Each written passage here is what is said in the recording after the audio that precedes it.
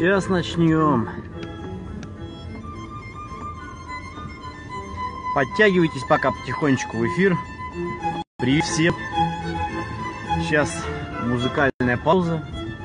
Легкое такое превью под классическую музыку. И начнем.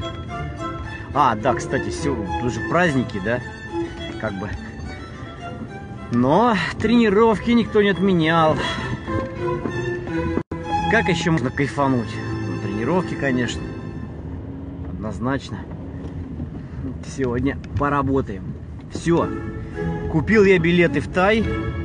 Приглашал я, приглашал, приглашал, приглашал народ. Но чувствуется, видимо, с финансами у людей совсем сейчас стало худо. Раньше только кинешь клич и масса народу. Все, все, поехали в Тайгер, встретимся там, тыры-пыры. Сейчас все людей просто нет денег. Кто-то прямо говорит так, нет финансов. Кто-то говорит, что занят. Ну понятно, занят-то почему? Деньги зарабатывает. Не так это стало легко теперь добраться до Тая. Я пока э, собираемся э, в эфир, я пока вот об этом немножко хочу поговорить, о новостях, э, которые тут у меня в ближайшее время. Вот, значит,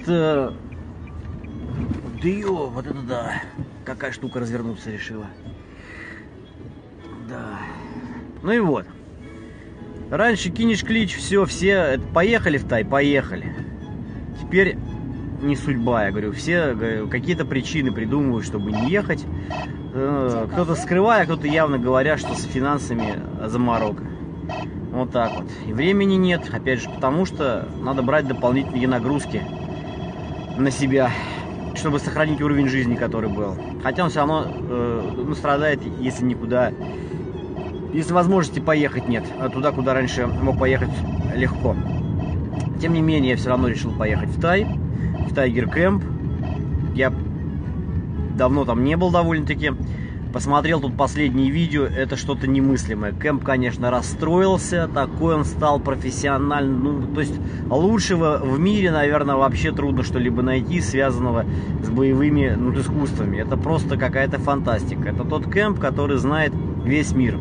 Туда люди приезжают тренироваться со всего мира. И голландцы, американцы, африканцы, из Австралии прилетают. Ну, полно. Со всех стран мира вообще. Из э, стран бывшего, из стран СНГ, бывшего Союза полно народу прилетает, чтобы потренироваться. Это просто чума. Вот. Так что, если все-таки кто-то надумает, то вот я там буду находиться с середины э, декабря до конца декабря. На две недельки я поеду туда. Как раз перед Новым годом. Так что можем там пересечься. Вот. Но теперь к главному вопросу, почему я вынес такую тему о говнюках в боевых искусствах. Ну, думал я на эту тему довольно долго. Скажу сразу, чтобы вам обидно не было, я, наверное, в какой-то мере к говнюкам отношу и себя в том числе. Ну, то есть, э, э, сложный, да, человек по характеру, а, в общении с адептами других искусств. Вот. Ну и вот э, как раз об этом и речь. О чем она, собственно говоря? О чем? Кто занимается боевыми ну, искусствами? Искусствами боевыми занимаются, как правило, ну, имеется в виду серьезно, не те, которые там иллюзии какие-то самки строят, а занимаются. Хотя и про этих тоже речь. Они э, хотят быть э, в когорте, вот а в теме как бы, и поэтому а, а, приобретают атрибуты э, поведенческие тоже э, за людей, которые реально серьезно занимаются. Ну так вот, а значит, кто занимается? Люди, которые ну, экстремалы по жизни. Ведь что такое боевой э, спорт? Боевой спорт это ну, экстремальный вид э, спорта, не командный, индивидуальный, то есть э, единоборство. Там каждый сам за себя. Хоть и есть какие-то командные соревнования, там покаты или командный кумите, но все равно там каждый дерется, каждый выступает исключительно сам за себя. Это не командные вещи. Даже внутри коллективов обязательно присутствует дух соперничества. То есть в одном и том же э, клубе спортсмены э, соревнуются между собой, у них есть ревность, желание быть первым и так далее. То есть э, от этого никак нельзя. Это экстремальный вид спорта. То есть там находятся люди, которые индивидуальщики. Они эгоистичны в, в плане своих ну, амбиций и достижения сам целей. Это по-любому. Хоть спортом они занимаются, хоть они занимаются, как называют, боевыми там искусствами, это не имеет э, ну, значения никакого. Это все равно э, присущ всем. Вопрос только в том, какое это выражение находит. Потому что это можно сублимировать э, во что-то хорошее. Да? В какое-то упрямство, спортивную злость и умение в том числе проигрывать, умение принимать что-то новое, вот, как бы соглашаться там, где присутствует железная логика и э, здравый смысл. А может просто залупаться направо-лево, считая себя там вот, экспертом э, э, во всех вопросах. Вот. И вот таких вот абсолютно большинство, по моему, по крайней мере, по опыту, из опыта ну, общения в социальных сетях. Вот. А, нет, я не скажу, что такие люди не способны э, формировать какие-то тусовки э, в сетях. Они формируют какие-то тусовки, но только при одном условии, что те, с кем они входят в альянс, э, полностью поддерживают их точку зрения. То есть сначала ты там уважаешь меня, а потом я, значит, уважаю тебя. Если этого не присутствует, значит, ты э, во всех отношениях полный мудак. Вот как бы такая как бы эта система действует. Это на сто процентов абсолютно. То есть э, даже можете спорить со мной по этому поводу. Потому что это, это видно. Я это же анализирую уже э, с годами работы на форумах и в социальных сетях. По-другому и не бывает. Вот. Причем э, чем реальней, э, более хороший мастер, а такие есть, э, я ничего не говорю, тем чаще, чаще, вот как бы должно наоборот все быть. Чаще это, ну, реально, это говнюк, который считает себя небожителем, который в чем-то там очень хорошо разбирается. А еще, не дай бог, он там вырастил кучку чемпионов, ну, это просто там, ну, эксперт там высшей категории, какой только может быть, абсолютно его мнение абсолютно правильное. То есть даже когда они занимаются диалогом в социальных сетях, то это не диалог, а дуолог. Что такое дуолог? Это когда похеру, что говорит сам собеседник. Слушать его все равно никто не собирается. И читать аргументы его не собирается никто тоже. Важно высказать собственную точку самозрения. А почему? Это совершенно непонятно. Ее должен слушать сам кто-то, когда ты не слушаешь э, сам точку зрения над, э, оппонента. Да, критика – дело хорошее. Это безусловно если она опирается на какую-то логику. Но когда человек упирается рогом а, против железных аргументов, или просто срывается на личность, а это чаще всего э, ну, происходит. То есть э, даешь железные там аргументы или не железные, неважно, их можно ну, ну, спорить. Но сразу же пример, э, значит, начинается как бы, а что это, ну, на личности переход. Это э, э, и уже ну, инструменты риторики присутствуют, лишь бы завести э, в какую-то другую э, стезю, но не по предмету. То есть для того, чтобы сохранить свое лицо. И начинается просто какая-то эта пустота. Просто дебильно. Вот, э, недавно такая же тема была с одним сам, товарищем из бывшей союзной сам, э, э, республики э, с, с любителями картофеля. Вот, э, страна, где 8 миллионов человек. Вот, и есть там сам, такие гиперцы, мастера.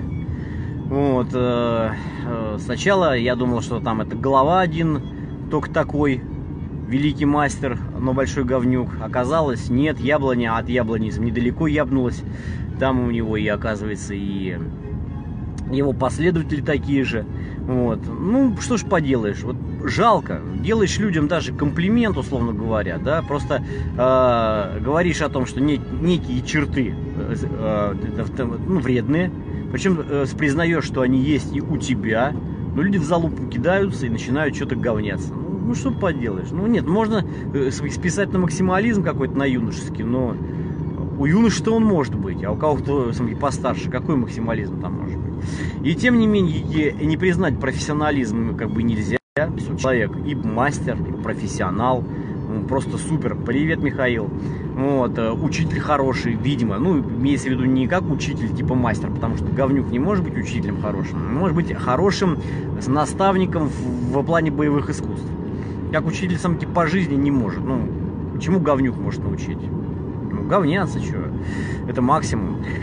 Вот. Э, Поэтому, когда общаешься с людьми, и которые в сфере боевых искусств что-то добились, конечно, нужно быть абсолютно готовым к тому, что будет спор, будет э, жесткость, будет какое-то противостояние, неприятие, может быть мнимая грубость, но умные люди, настоящие э, мастера, не ведут э, спор исключительно только по сути, то есть по предмету. А, то есть э, они не переходят на личности. А ну когда пишешь, например, вот я считаю, что там занимаюсь столько-то лет боевыми там искусствами, э, там это карате занимаюсь, э, но там пришел в какой-то момент к такому выводу, что нужна там интеграция, поэтому нравится там ММА, пятое, десятое, все. И пишет человек, а какого хера вы тогда занимаетесь карате, носите кимоно, сдаете на данные, выступаете в катом? Почему он переводит на личность, на мою? Все это делает и сразу хера какого-то. Вот, вот что это такое? Да? Ладно, он написал так. А, это самое. А я считаю, например, то есть он э, со своей точки зрения высказал, а, что, что там это карате, это то самое, что надо, в нем уже присутствует все. Вот такое мое э, мнение. Вот. И тогда мы обмениваемся мнениями.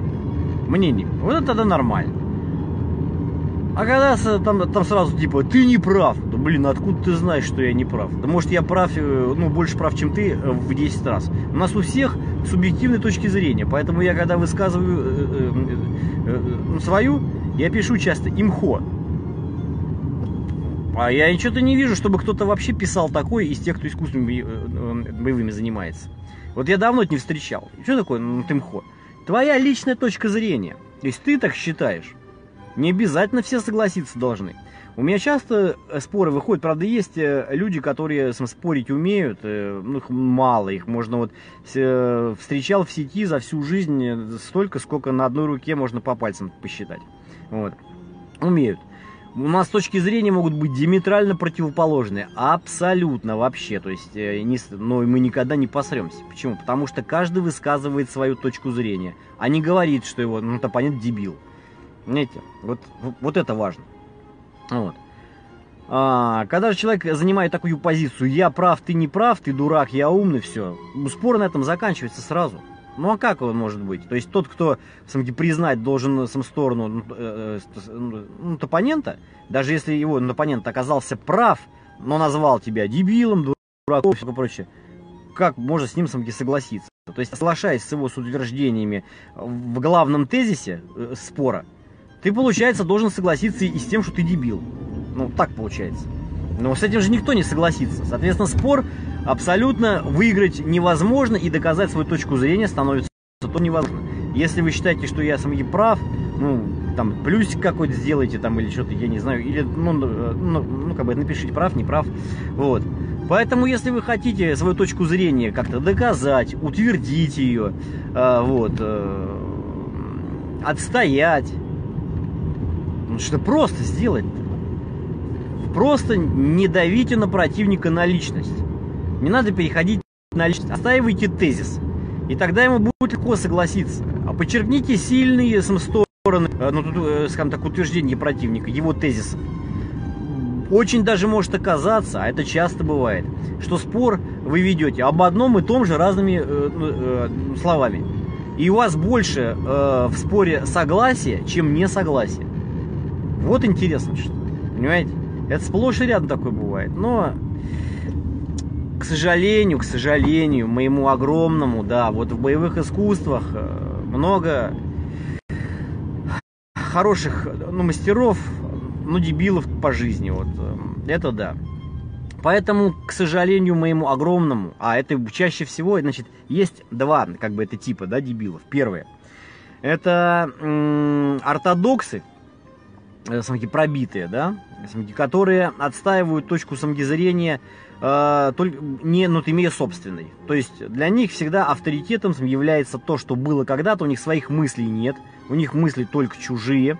Те, которые э, они выпитали в процессе тренировок, это чужие мысли, чужих самих мастеров, из чужой культуры, из других, из, из другого века и прошлого тысячелетия, хрен знает откуда, и вот они этими тезисами это говорят, даже не пытаясь что-то поразмыслить и, подумать, что они живут-то уже не там, а вот здесь и, и сейчас, и что все должно по-другому быть, условно говоря.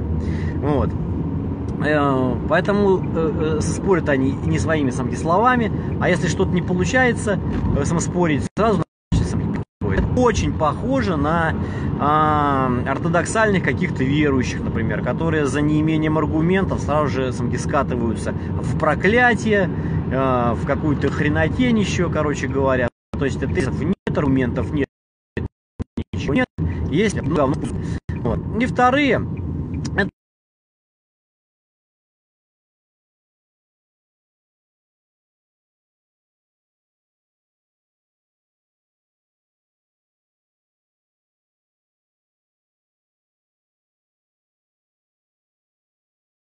чемпион в, в контактном виде, твое мнение может быть авторитетным. Стоит тебе проиграть раз подряд, ты там ну, ну такело промахнулся, нужен, вот, и все такое прочее.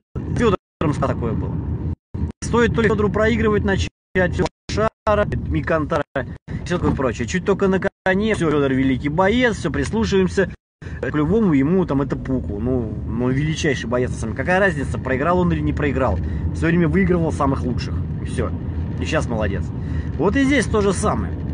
А, когда э, самки подменяется э, то, что является истиной, э, аргументированной, тем, что ты на самом деле можешь в данный момент и сейчас. Ну, например, ты травму получил, и ты не можешь драться. А тебе говорят, давай, если ты прав, давай подеремся. Если ты там победишь, пускай у тебя там травм целая куча, разорванный свет, неважно. Если не можешь доказать свою точку зрения вот так вот, значит все. Вот, все. В итоге получается, что э, никакая аргументационная база работать не будет абсолютно, это совершенно бесполезно. Вот, э, поэтому такие люди, они не способны, скажем так, обучаться, э, брать что-то из старого, брать что-то из нового, что-то конгломерировать и синтезировать. Для них авторитет только тот, кто на коне в настоящий момент. Причем этот человек может быть не методистом, э, там никаким, э, не вообще, ну, с горы магнитной самим хреном, от спустившихся с каких-нибудь, не знаю, там, не знаю, горы, вышившие из самих степей, без образования, там все. Я безотносительно к э, кому-либо конкретно говорю, ни в коем случае, там, не подумайте, что я кого-то конкретно веду, там, имею и все такое прочее. Вот.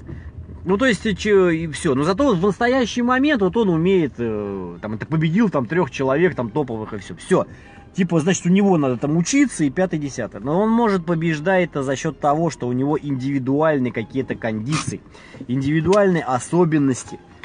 Звезды встали там опять так же, что ему это повезло. Ну, всяко бывает. Функционалка в данный момент, но это же ни о чем еще не говорит. Это не значит, что человек хорошо понимает суть боевых искусств да, что он обладает каким-то методом, что он может кого-то научить или может даже не науча никого, просто понимать э, глубоко стратегию, тактику, методику подготовки в разных аспектах. Он и потому, может, и достиг, что его кто-то тренировал, причем его кто-то тренировал, кто не достиг никаких успехов таких, но кто-то ему ну, поднатаскал функционалку, какой-то врач сам следит за его э, сам, подготовкой, какой-то физио, ну, кто-то там ему сам расписывает микроциклы, мезоциклы, главный тренер, который, может, никогда никем и не был вообще, ничего не занимал, но человек понимает то, чем он сам и занимается. Кто-то ставит работу на снарядах, на лапах. Я все время привожу самый пример касса Домата, например, да, вот. И те, кто готовил э, сам Тайсона, там кто лапы держал, кто тренировки расписывал, они что? Они не были супер э, ну, бойцами. Не были же? Не были. Знаешь, понимают? Да, понимают. Поэтому, понимаете, вот на уровне логики решается все. Логика, сам здравый смысл. Но вот этот вот адреналин, тестостерон и э, инертное говно, которое есть э, в специалистах многих от боевых искусств, они, к сожалению, вот затмевают вот это вот все и не дают логике пробиться. Почему и боевые искусства развиваются косно. Вот все виды спорта скакнули с прошлого века, э, спасибо, кто лайки ставит, звездочки, сердечки, вот, э, просто колоссальными темпами. То есть люди научились по-другому тренироваться, э, впустили в спорт науку. Я не говорю про фармакохимию, это фарм какую-то поддержку, я не это имею в виду. Я к тому, что а, изменились методы, микроциклы, мезоциклы, макроциклы подготовки в тренировках, методики, техника, биомеханика, все вошло. Что касается карате, там все не, ну, не входит туда. Все, там, там чем чуднее, чем старее, чем традиционнее, тем лучше. Ну, беда, это для многих совместили. И когда начинаешь говорить по поводу того, что это, наверное, как бы не так, и что на самом деле а, все те великие мастера, которые создали современные, так называемые традиционные стили, были в свое время новаторами, ну все, Абсолютно, то есть они, э, ну, э, скажем так, отошли от старых окинавских ортодоксальных каких-то школ, там развив японское годжурю, шотокан, вот, э, шидурю, вадурю, и все вот эти современные направления, ну, они уже современные, хотя традиционные. Э, это кёкушин вообще. Это навье, это вот люди, которые, которых считали отщепенцами в свое время. Отщепенцами. Даже на Каяму в свое время, когда он стал э, выпускать э, в, в, в карате научно-методичный подход, считали таким же. Японцы считали, что он занимается херней. А, Но ну, ему повезло, потому что на самом деле в Америке был, да, и поэтому американцы считали его носителем японской самки культуры. А он э, в японскую культуру преподавания карате выпустил методы, э, как говорится, белого мира. Да? И поэтому его там отприняли э, э, ну, в Америке. Вот здесь он, конечно, сыграл как и хороший, и методист, и, и маркетолог. А теперь все сейчас опираются и говорят, вот, вот был молодец, вот японец-то, вот традиционный носитель, но он развивал-то, он и потому и развивал, что он отошел от всех сам, э, э, э, традиций. Он впустил другой совершенно метод в преподавании карате и э, в разбор карате. И что получилось? И получилась методичная школа, которую сейчас считаю самки традиционным. Это современный шотокан. Вот. Вот так вот, друзья мои. Но Абсолютному большинству это недоступно, они над этим не рассуждают. Мне даже удивляет иногда, что люди, которые занимаются э, ортодоксальным карате, предположим, окинавским каким-то, там часто пишут там, книги по этому поводу, хорошие книги причем, анализируют. Из их книг можно сделать прям противоположный вывод из той доктрины, которую делают они. Они, то есть, ну, э, э, по жизни, скажем так, утверждают, что вот так, мол, и так – а, надо делать так, как делает учитель. Соответственно, учитель должен, вероятно, был делать так, как делал его там учитель, а его учитель, вероятно, должен был делать так, как делал его учитель. И только если в, в ипостаси, в идеальной, ты повторяешь то, что делал учитель, и чем лучше учитель повторял то, что делал его учитель, тем, наверное, лучше будет твое карате. На самом деле все не так. Если мы, мы пойдем вот так вот по ретроспективе, то все должно быть от обратного, на самом деле-то чем э, если ты повторяешь учителя и все как делал он, а он делал как его, а он делал как э, про, про его там учитель, то мы спустимся к кому? К, э, там, к обезьянам, которым палками дрались. Когда никакой если, школы боя не было вообще. Наоборот, каждый ученик что-то привносит свое, откинув худшее, выбрав лучшее, что-то добавив, если он при этом умный еще, он может проанализировать, синтезировать. А сейчас, когда информационное поле большое, впустив что-то из методов подготовки других школ, и все. И это работает еще лучше, лучше, лучше и лучше. Но только так. Вот. Но нет, нет, нет. Говнистость не даст это признать. А, кто-то может и признавать, кто-то может и пустить какие-то методы подготовки. Но тогда он сам считать начинает, что поймал Бога за яйца. Вот. И, значит, соответственно, он хорошо понимает и знает, как надо готовить, а другие типа этого не знают и не понимают. Ну, отчасти правильно считает, потому что он рассуждает так, как я, видит э, тех, кто является пробитыми там, э, ну, ортодоксами. Но я уверяю, что таких, как я, немало. Есть огромное количество тех людей, которые считают, что нужно э, синтезировать синтезировать, изменять, э, брать новое и так далее. И нет бы объединиться, но нет. Я понял, ты не понял, ты понимаешь не так, как я понимаю. Я вырастил двух чемпионов мира, а я трех. Вот. И заканчивается ты мудак, нет, ты мудак, да я, да я, да голой жопой на ежа. Какая разница, что ты? Ты можешь быть, что хочешь. Вырастить херову тучу там учеников, быть сам э, э, мастером какого-то древнего там ну, искусства, которое не впилось никому ни в одно место, которое сам является театром Такабуки, там, э, э, махать сам серпом или каким-то копьем, с черепашьим каким-то сам щитом прыгать э, с, э, со страшной рожей. Ну, ну, замечательно. Честь и хвала. Э, здорово. Но зачем, собственно говоря, считать остальных дураками? Вот это, не, вот, вот это совершенно это непонятно. Ладно, если вы кого-нибудь узнали, то, значит, э, ну, э, ну, то извините, пожалуйста. А, каждый видит э, в зеркале себя, поэтому, может, я никого не имел в виду конкретно. Но если вы кого-то видите, значит, я так точно, ну, ты писал, все, что вы сразу догадались. Понимаете? А значит, так и есть. Ладно, без обид. Я же говорю, что я тоже говнюк. Вот. Не буду говорить, что я сам правильный и, и, ну, и, э, ну, с говнюков. Одно меня, скажем так, отличает. Я чужую точку самозрения всегда рассматриваю и могу ее принять. И на личности никогда не перехожу. До тех пор, пока со мной не переходит. С хами по-хамски, да, бывает. Но последнее время, правда, последние годы, я просто ставлю в игнор. Мне, как говорится, похер. Ну, много чести, я же говорю, это просто дуолог будет. А показывать э, зрителям сам со стороны, как это происходит все, что типа, раз я громко это, э, э, это кричу на общем форуме всех обсирая, значит, типа это, я типа сильный, и последнее слово за мной, это наоборот, это позиция э, слабака. Сильный все решит либо в личной переписке, либо при личной э, э, встрече поговорит, и все не вынося на сцену. А когда кричать начинают в сети, интересно, да, кричать в сети, то это вообще ни о чем, абсолютно. Это пустое сотрясание воздуха. Наоборот, я в последнее время таких самги людей, которые на личности переходят в сети, прямо конкретно называя там имена, наезжая там все, я рассматриваю как очень э, слабых людей, несмотря на все их самые сильные личные качества, которые могут у них быть иные. Это так, это фигня, на самом деле.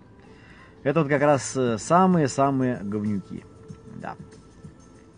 Нет, конечно, когда в качестве примера я кого-то привожу, э, какого-то мастера, говорю, вот такой-то мастер вот делает вот то-то, то-то.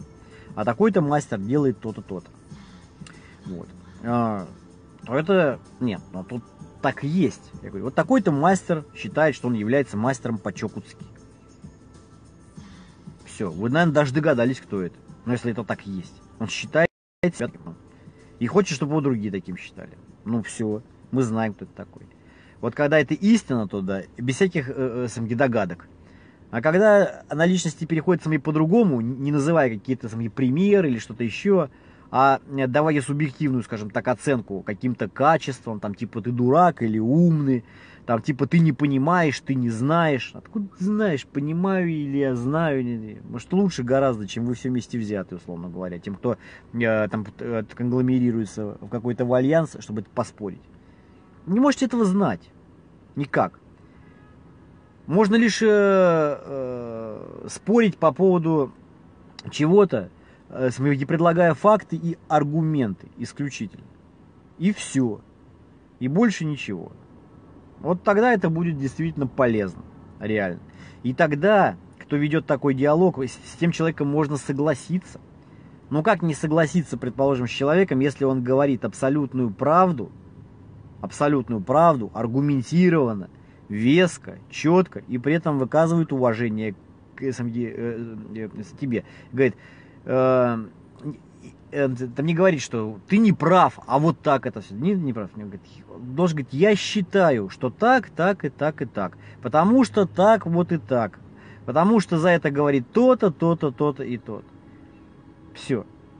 Тогда возможность в том, что конструктивно пройдет что-то, если ты действительно пишешь не, не для того, чтобы себя показать, а чтобы э, точка зрения достигла кого-то, ты же пишешь не только для себя, ты же для кого-то пишешь. Хочешь, чтобы это возымело действие на кого-то, не нужно говняться с этим кто-то. С каким-то виртуальным своим противником можно поговняться. Когда мы, мы берем собирательный образ, вот как я делаю там ортодоксов каких-то, и э, критикую их за общепризнанные черты. Но я никого не имею в виду конкретно. И если кто-то себя в этом узнает, ну, ребят, ну, извините, блин, ну, значит, я точно попал, вот прямо точно, точно попал. Э, одно дело, когда называют, вот ты такой-то, такой-то.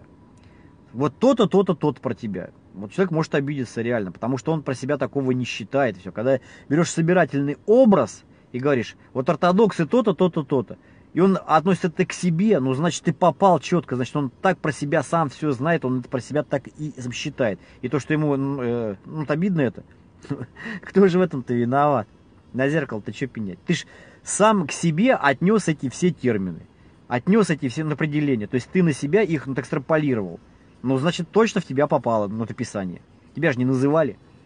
Ну, все же просто. Вот, ну я думаю, что из-за вот этого всего, из-за двух, из-за причин, из-за этих двух. Э, ну, категорий людей, боевые искусства очень сильно тормозят в своем саморазвитии.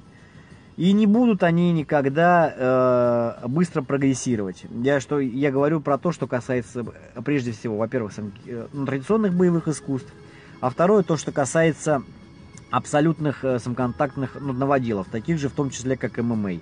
Но если у ММА есть самки перспективы в том э, э, э ключе, что он, он постепенно перерождаться будет в полноценнейший боевой ну, искусство, который приобретет и традиции свои, и методологию, появятся хорошие педагоги, тренера, у него будущее есть. Как у боевого, как у боевого спорта точно, потому что он, он аккумулирует лучше. Стоит там появиться хорошему педагогическому составу, и все. И это будет самое лучшее, что может быть. То у традиционных э, стилей такого будущего нет. Я сейчас объясню почему. Я не говорю, потому что нет учителей. Учителя есть величайшие, хорошие. Только, к сожалению, они настолько старые на генерации, э, что они скоро все ну, помрут. Это те, как раз, которые делали традицию, которые создавали традиционные стили, которые в, в их время были новоделами. Таких доктор Йорга, например, традиционный стиль самги Фудокан. Да это вообще новодел, он 80-го года, по-моему, создан-то всего. Сколько ему, блин, 80-го года. 38 лет стилю, до всего ничего абсолютно, новье совершенно. Он был новатор, понимаете идею, да? Вот, но ему сколько уже лет? А про других мастеров я вообще молчу, они бы все были новатором. А, а, а новые все вот эти, которые говорят, мы должны быть как учитель и не лучше, чем он. А так, как он, вот ровно такой же. Ну, все. Это путь в никуда. Все, ребят, я на тренировку побежал. Если вы со согласны, ставьте плюсы, пишите комментарии. Если не согласны, ставьте тоже. Если хотите меня послать нахер, э, я заблокирую сразу. Если у вас есть просто какие-то э, конструктивные вещи, обязательно пишите. Если есть аргументы против того, что я говорю, это будет интересно. Всем пока.